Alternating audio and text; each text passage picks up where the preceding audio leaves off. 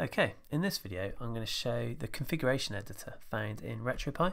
It's a menu system that allows you to get access to some of the configuration files that are otherwise maybe a bit more difficult to edit or update and um, there are different ways of editing the files. You can just go in manually in a terminal session like you can see on the right hand side of the screen there or you can use a more sort of graphical interface using the RetroPie menu setup on the left or you can even use RetroArch GUI itself to a degree to change some of these settings but often the quickest and easiest way certainly if you're just um, sort of making changes to see how they affect the output is through this configuration editor. So I just want to run through some of the options that show um, how it works and what changes they make because it can be quite a quick way um, of making some updates that really improve the output or way that RetroArch based emulators or libretro emulators um, output, especially on uh, HD TVs. So on the left there you can see I've got emulation station and I've got the three screens there, a couple of terminal sessions and emulation station and I'm sure if I was better at video editing I could probably merge it all with um, a few snazzy fade in fade outs but um, I can't do that so I'm doing this instead but hopefully you'll get the idea. So, okay, you can access this configuration editor uh, in the RetroPie menu, which is on the screen at the moment. So, if you go in there and scroll down to configuration editor, as it says on the left there, you can change the common RetroArch options. And RetroArch is the front end for all of the libretro emulators. So, and it's typically it covers the majority of emulation so it will often do the job you need it won't make any effect whatsoever on standalone emulators like dgen or GnGeo or any of the ones that aren't prefixed with LR basically for libretro. Um, okay, yeah, so it lets us edit those settings, also some other global configs and some configs that aren't to do with RetroArch. Uh, it gives you a nice interface to be able to do that. Like I say, it just helps not having to know some of the intricacies maybe of navigating through a Linux file system. So if I go into the configuration editor and select that, you'll see the screen change and on that screen I've got the menu option which is the same as the one I've got in the top right and I'm going to use that one in the top right to sort of show how I navigate because it'll display easier and we'll just use emulation station to run the game so you can see the changes it makes. So I'll quit out of that on that screen.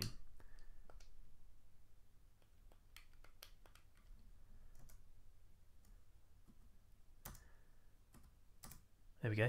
Okay so that's quit out of there and what we'd do is run um, some Mega Drive games so you can see the change. Now if you look in the top right we've got um, two options to start off with. You've got the basic settings which is basically just a cut down version of everything that you can find in the advanced configuration.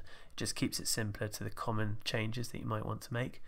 Um, so we'll start there and in that section you can see the options are largely in the beginner section to change options for specific systems. It's got each of the systems that are installed here and you can just choose the one that you want to make the change to or you can make the change for everything. So for example if you want to say I want video smoothing on everything I run you'd want to make the change in this top section here and if I chose that top section you can see it's got a really useful bit of info at the top saying anything you change here will change this file and that RetroArch file is used um, no matter which RetroArch um, or which emulator using RetroArch you use, it'll always read that. So anything you make change here, you'll see take effect in all of them. So I think to make this easier to see, what I'll do, if I cancel on that screen but choose a specific system, in this case Mega Drive, they're all the same um, options, it's just which system you decide to choose. So I'll go for Mega Drive and I've got 10 options. So these are the cut down basic options that you want to use. Now on the emulation station there, if I run the game without making any of these changes, so I'll open up Sonic and we'll just see how the graphics look.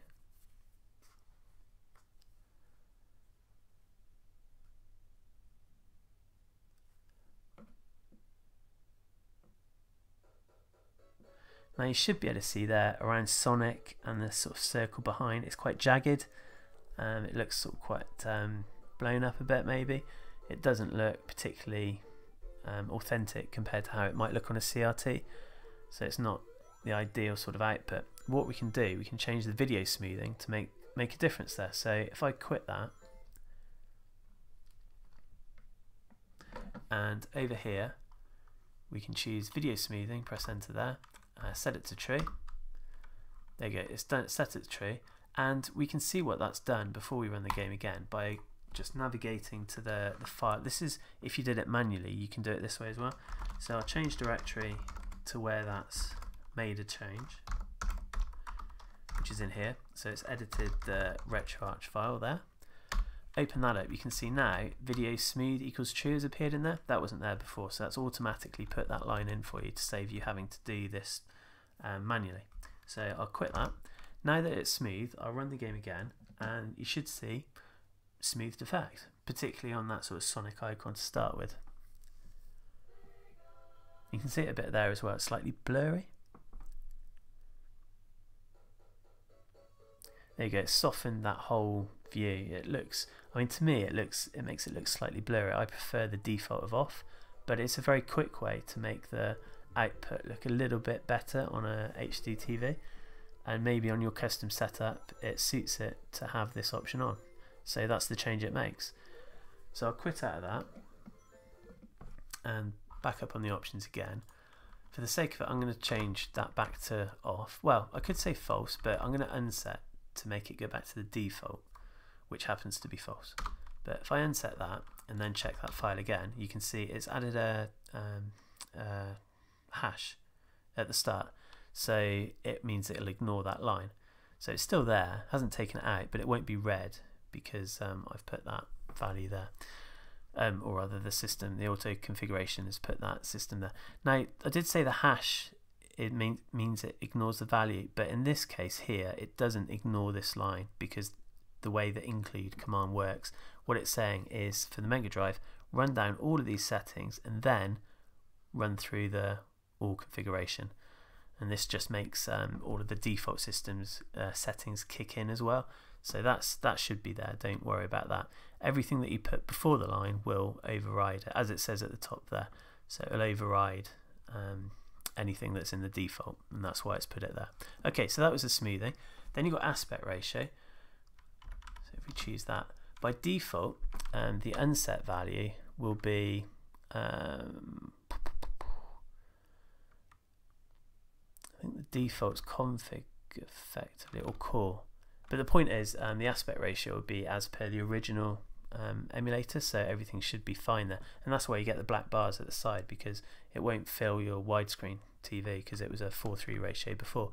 But it's quick to change if you did want um, a wider screen or a wider view um, to be output. You can change it to 16:9 here. So I'll just quit that. And if I did change that to 16:9, which you, you shouldn't do, it's an odd resolution to try and stretch to. But anyway, in here you can see now aspect ratio index equals 1. So I'll fire up Sonic again.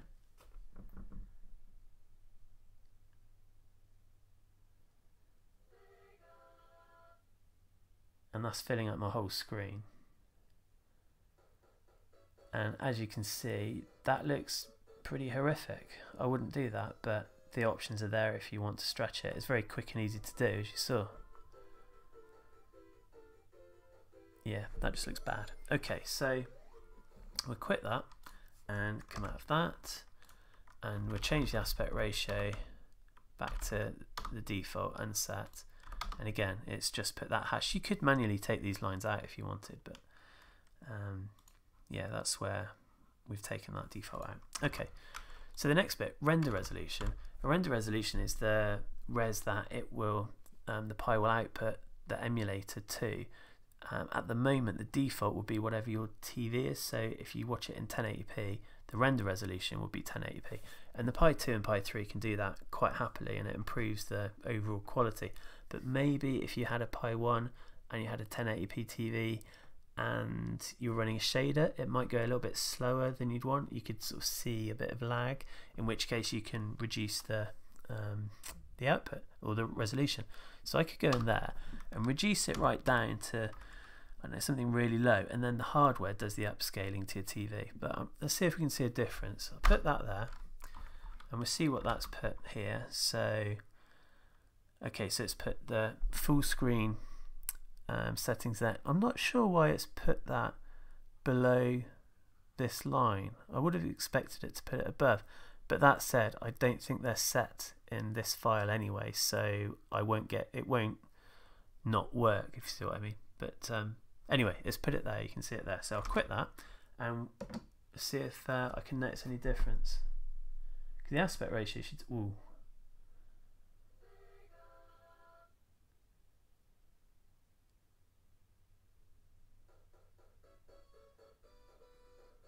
Doesn't look a million miles different there, but on the startup you could see that um, it was at low resolution because the the text was much bigger and blown up.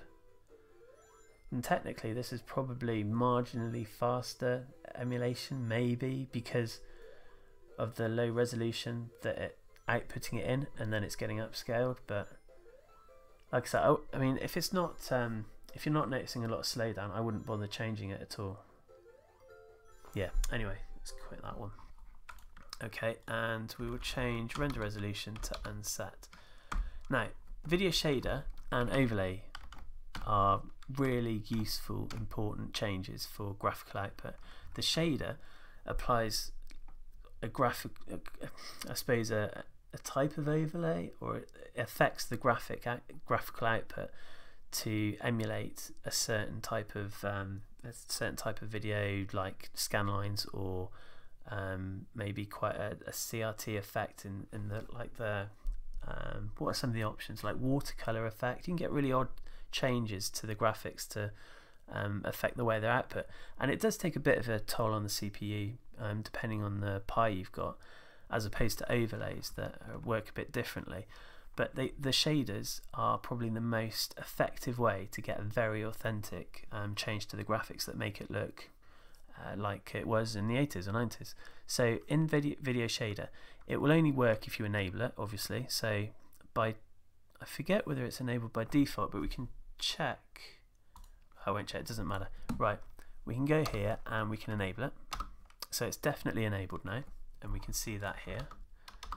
So we've got um, video. Oh, that's interesting. When I turn that default off, it's moved it above the line. Anyway, video shader enable true. So now shaders will work, but you won't show anything because we haven't set what shader to use. So setting the shader to use, you get the preset options here. You can upload your own as well, but these are the, the defaults that have most effect. And I'd say the most popular is this one, CRT Pi. So I'll select that one, and we've got that now chosen. So you can see in here it's added a line where that video shader is. And if I start Sonic now, it should look much better.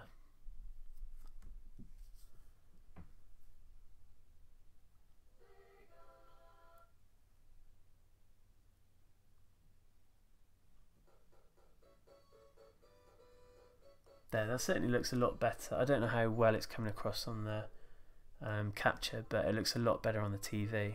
Kind of got a scanline effect going on, general sort of CRT um, look and feel of it all.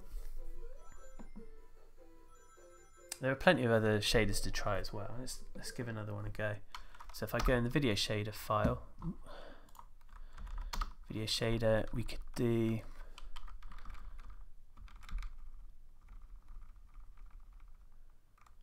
So look at snares. I think that one was always not too bad.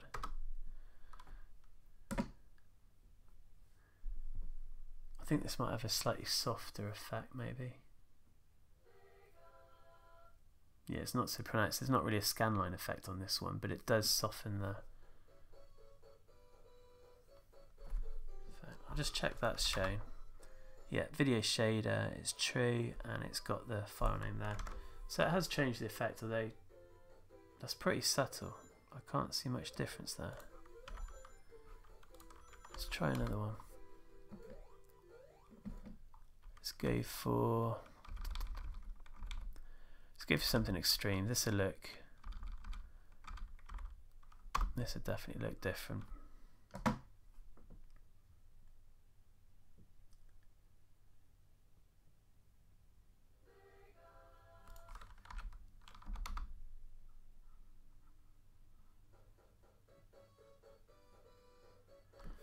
Know, that doesn't look massively different to me.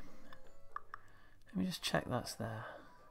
So it's called SNES Scanline Uh, SNES Scanline GLSLP.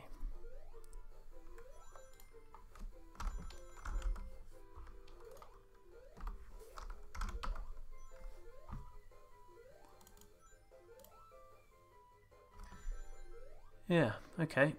Maybe I just can't tell much difference there.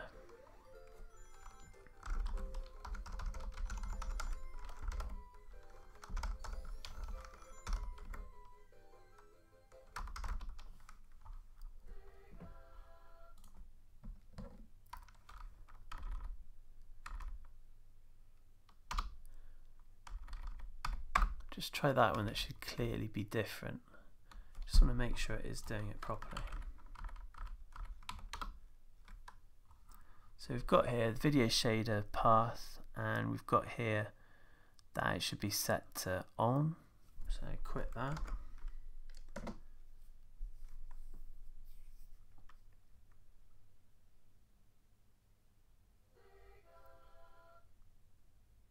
Yeah, I can see that's um, that's on there. I mean, it looks a bit odd, but it's clearly changed it. Okay. Right, enough of shaders. Um, but try them out because you'll notice a quite big difference quite often. Uh, it's a very quick and easy way to do it. Um, so we turn that back up. Oh, hang on. Configure basic for Mega Drive. Video shader and set and enable and set. Okay, now there's overlays. Overlays are literally a graphical file that sits on top of the image. So it can be quite useful for filling in if um, you're emulating a 4-3 ratio and you're doing it on a widescreen TV, you'll get black bars at the side. And quite often people want to cover up those black bars. So an overlay can do it. At the side there, it might put a picture of maybe side of a TV or side of some uh, retro characters like Sonic or something, any, any sort of picture to fill it in. And then in addition, the section of the image that goes over the top of the actual game area might have a scanline effect. So you get the benefit of hiding the black bars and a scanline effect in one. Plus, it's comparatively low CPU usage. It's just loading an image. So they can be very effective. And there's a lot of different overlays out there. And obviously, there's some included in this distribution. So we can say we want to use an overlay and we'll use, um, let's have a look. Um, let's see what that is. TV integer. Okay. So we've made those changes and again you can see them appear in the file. This is starting to look a bit untidy but you can always tidy it up manually. Um, okay so we've got input overlay true and that's the path to the configuration file that references the image and you can always edit that and have a look if you want to see what's in there. Anyway that's there. Run it again. And we should see um, quite a change. Yeah, well, okay. There's a bit of an issue there in that it's clearly not the right size for the way that I've output the video. But you get the idea. You can hide the, the sides there. Um, yeah. Okay right we'll cancel that. And looking at the overlays I wonder if I can find one more suitable. I mean that is a point with the shaders it'll automatically just cover the game area whereas the overlays kind of need to know what resolution you're outputting um, to. Uh, CRT bezels so horizontal probably for horizontal games maybe because they've considered that maybe. Uh, run that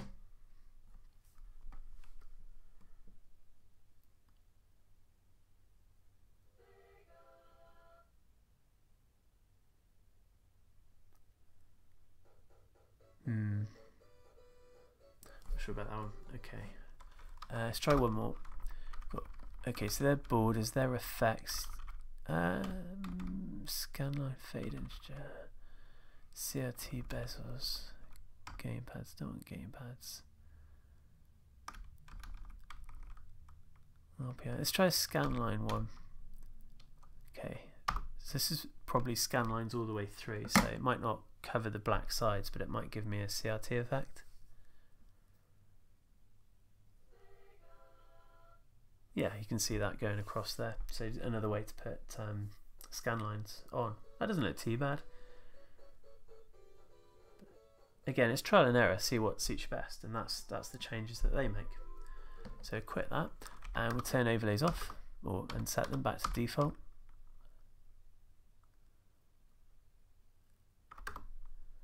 Okay, and then player one use analog stick as D-pad. Let's um. I haven't got an analog stick on the controller I've got in there at the moment, but I'll just set it to see what um, it says. So left stick.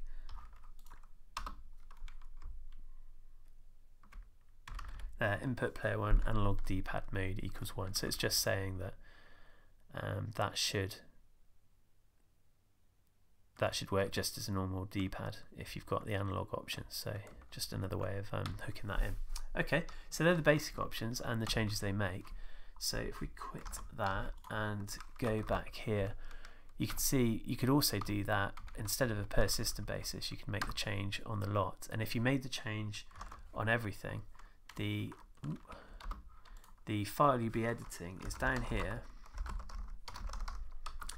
It'll be in this directory here, opt retropie configs all, and in that directory you can see there is the RetroArch um, there, the RetroArch CFG that um, manages all the default settings. And if I open that, you can see there's quite a few pages of uh, all the little sections there. So you can just make a change there and it would apply to all the systems.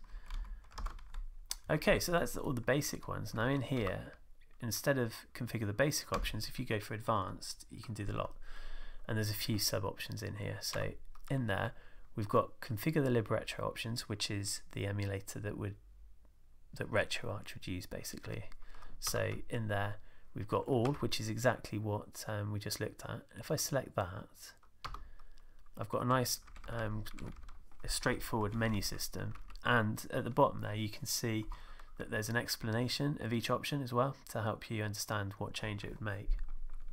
Um, and you can do all of them down there, so you've got a lot more flexibility. There's probably even some extra options that aren't here if you really want to get into it, but then you'd have to edit it manually, um, like I've been doing on the screen below. So um, these are the first 10 are the ones we saw, or the first few, sorry, are the ones we saw earlier smooth, aspect ratio, um, shaders, overlays. Then you can do other things um, audio driver, video drivers. Um, how big your screen is, you can specify that precisely there. Um, you can set video aspect ratios in a lot of detail and integer scaling to sort of force the um, ratio to be a multiple of the original. Um, custom viewport width, that's to specify exactly how big the screen should be output if you don't want to um, if you don't want to say it's a multiple of uh, the original um, video font size that's just if I change that video font size edit currently 12 we'll make that 24 hit OK and we can see the change we've done there if I scroll to the bottom here it's probably put oh no okay hang on um, is it OSD yeah, there we go. Video font size 24, so it's updated that as I've typed it. Now if I open the game now, you should see the bottom left corner, yellow text be much bigger. It's bigger, it's not that much bigger. I should probably go...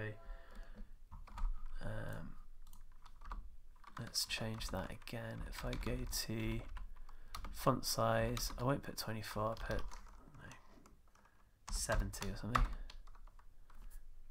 Run that again and you just see the size of the text which is quite useful if you're debugging because it was massive so you wouldn't want it that big but you get the idea. So let's put that back to um, 20 or something. Uh, other options in here uh, frames per second show. Let's have a look. So set that to true and if I can find where that is here FPS where's the cursor there that's not it there, FPS show tree So now, if I open that up, we should see in the corner the frames per second that it's emulating it. Oh, yeah, bottom left. Okay, so it's doing a count of the frames. Um, right. So I'm getting 60, which you'd expect.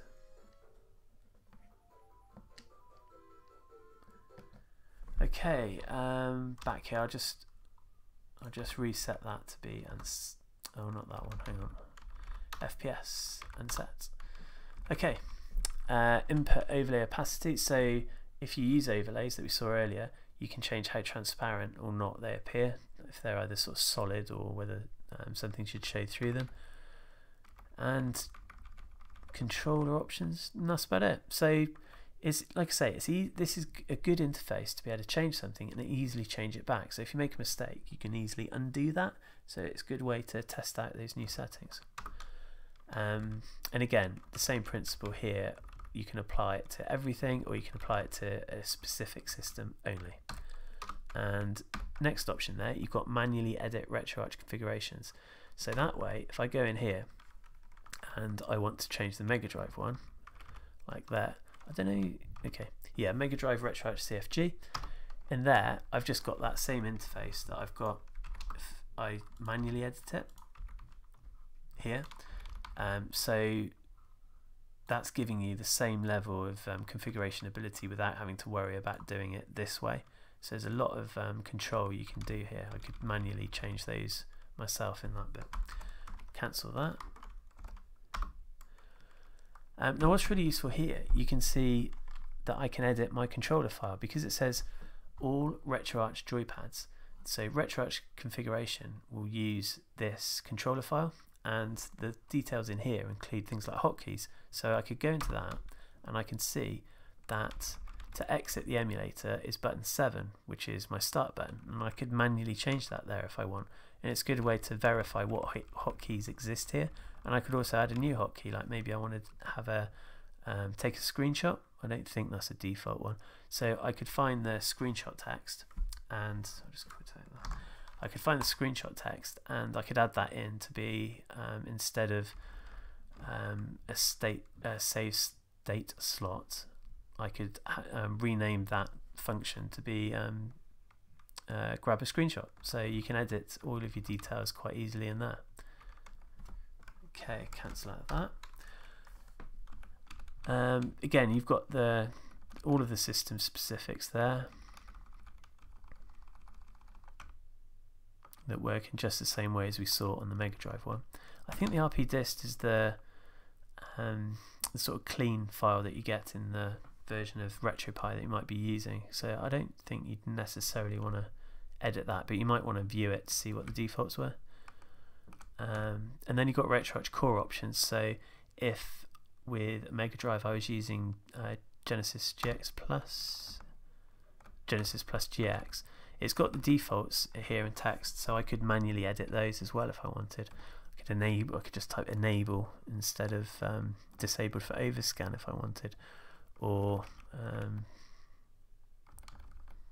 region detect auto. I could probably well, you can obviously change anything that's listed here, and it's not just um, the Genesis Plus GX. It's all of the LibRetro emulators. You've got Mupen64, MAME 2003 lots of sort of separate settings for those. So you can just go in here and tweak that. We've got the PicoDrive ones. And you can change them I think to the six button pad quite easily here as well. So that's what's in there. And actually did it save that stupid change I just made? Yeah let's get rid of that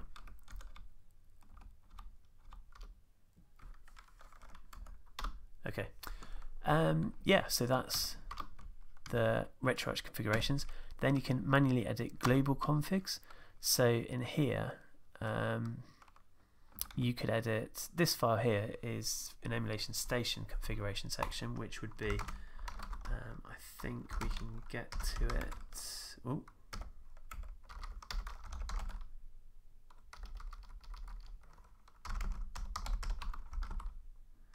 Oh yeah, hang on. Um,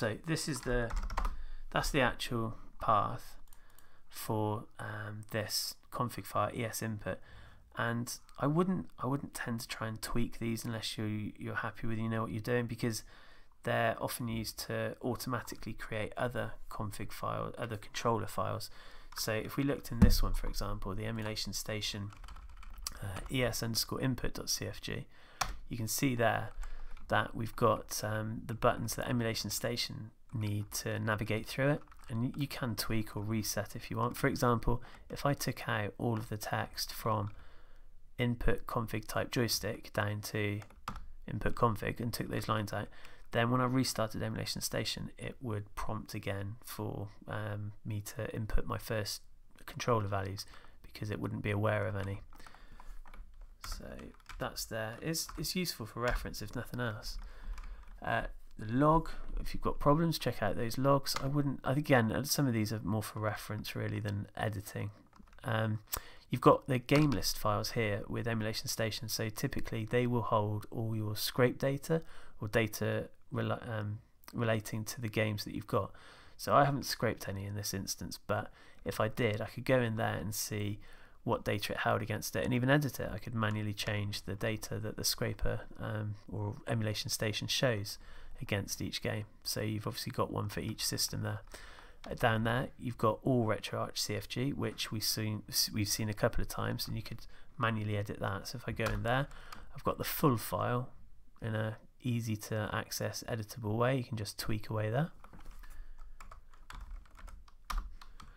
And what else do we have down the bottom? Again, um, my controller file, you can edit that. Um, run command launch dialog.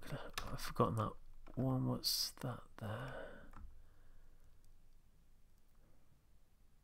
Okay, so that's quite a lot of tweakable options for the run command um, dialog, which is the little box that pops up when you start playing a um, start choosing a game. It gives you the option to change particular emulator op um, options, so which of the emulators you want to run the game with, or um, the output resolution and other things like that. So you can change it quite a lot there, and even disable it. I think you, there's a on-off function, so it won't even show at all. But yeah, that's um, those options. And what have we got down the bottom? It was core options again and run command. Now this this file is useful. Yeah, this file is useful to see Okay, so when run command runs, you can have a splash screen of the actual game that you're running, so it gives you a um, graphical output to say, oh, you know, this is the covers cover art for Sonic that would flash up, and you can turn that on or off here. But that's also, if I show you on Emulation Station, you can get to that in another way um, that's a lot more clear. You just choose the run command editor, and that's um, another way of doing it. Okay. So cancel that.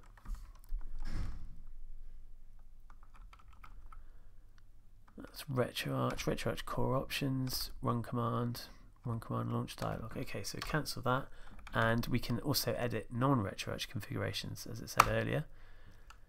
And here, I can't even remember what autoconf is.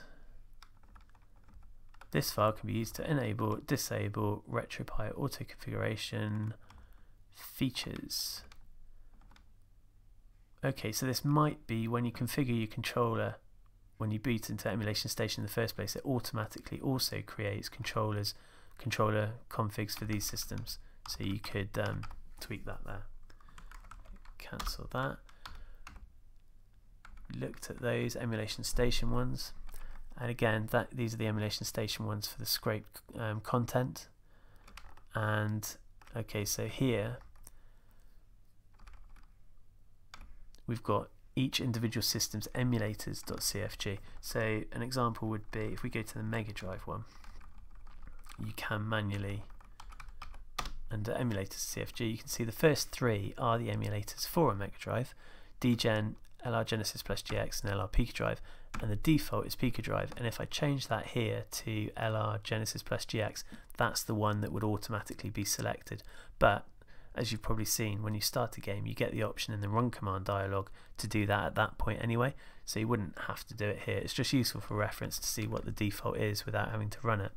And um, you can change that to dgen, where any of these um, names before the equal sign. You could just put that down there and it would change the default.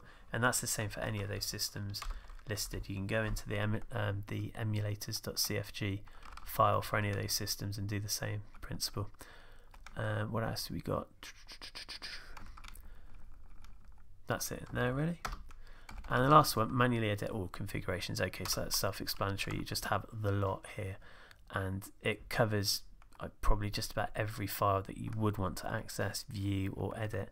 So it's quite easy to manage that without having to navigate through the Linux file system like um, you can do here. But uh, it's it's generally really useful tool that I'd totally recommend to change your settings, particularly if you're trying to get a better video output, because they're the ones, if we go back there, that are in the basic section. And if I was to go for, I don't know, Neo mm, Mega Drive, um, I can quickly and easily try a shader or um, overlays. And there are some other um, overlays and shaders available out there that you can download and copy to your Pi if it's not one that's already available here. But um, these options certainly make it much easier to manage um, and get the right output because the developers could choose to guess what they think is best for you but it's much better this way to set everything to quite a sort of clean vanilla default and let you go in and choose exactly what you prefer even if um, maybe some of you want a 16:9 ratio output but um, I wouldn't recommend it. And um, that's it. If you've got any questions um, I will do my best to answer it in the YouTube comments there and I'll also put a link to the wiki about this which is also really useful but hopefully that's made it um, clear about how that all ties in together and how you can access that using the emulation station interface rather than having to do anything too technical. Okay thanks